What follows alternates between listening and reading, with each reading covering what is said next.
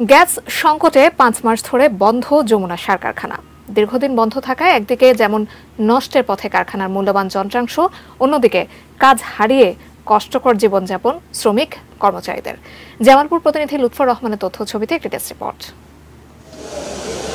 জামালপুরের তারাকান্দিতে দেশের বৃহত্তম এবং একমাত্র দানাদার ইউরিয়া উৎপাদনকারী প্রতিষ্ঠান যমুনা সার কারখানা চালু হয় উনিশশো নব্বই সালে। প্রতিদিন এক হাজার সাতশো মেট্রিক টন উৎপাদন ক্ষমতা সম্পন্ন এই সার কারখানায় উৎপাদিত সার উত্তরাঞ্চলের বিশ জেলায় সরবরাহ করা হয়। চলতি বছরের একুশ জুন থেকে গ্যাস সংকটের কারণে কারখানাটি বন্ধ।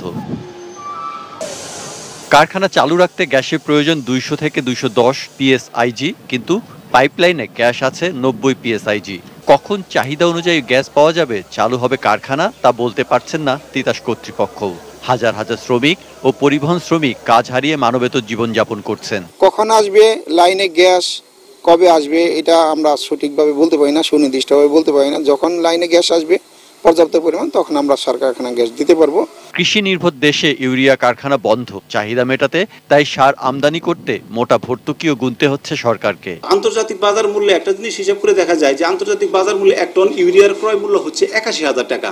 সেক্ষেত্রে যমুনা সার কারখানা থেকে সে সার বিক্রি হচ্ছে বিশ হাজার টাকা পার মেট্রিক টন আবার এখানে ক্যারিং খরচও রয়েছে সরকারের। দীর্ঘদিন কারখানা বন্ধ থাকায় সার পরিবহনের ট্রাক বিক্রি করে দিয়েছেন অনেক মালিক। কর্ম হারিয়েছেন ট্রাকের শত শত চালক ও শ্রমিক। এই যমুনা সার কারখানা সারা আমরা বিভিন্ন জেলায় সরবরাহ করে থাকি।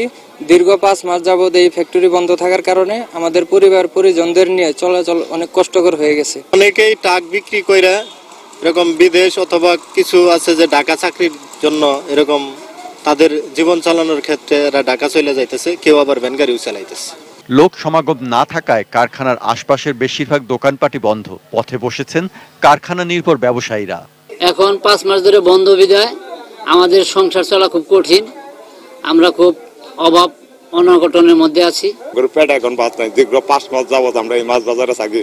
মাছ বাজার কোনো মাছ নাই কোনো কিছু নাই একটা কাস্টমার নাই কোনো কিছু নাই। আমরা এখন কি করে চলবো? গ্যাস সরবরাহ ও উৎপাদন চালুর দাবিতে এলাকাবাসী মানববন্ধন বিক্ষোভ মিছিল সমাবেশ সহ বিভিন্ন কর্মসূচি পালন করে যাচ্ছেন। আমরা দেশের Saikat Dasgupta desk report ATN News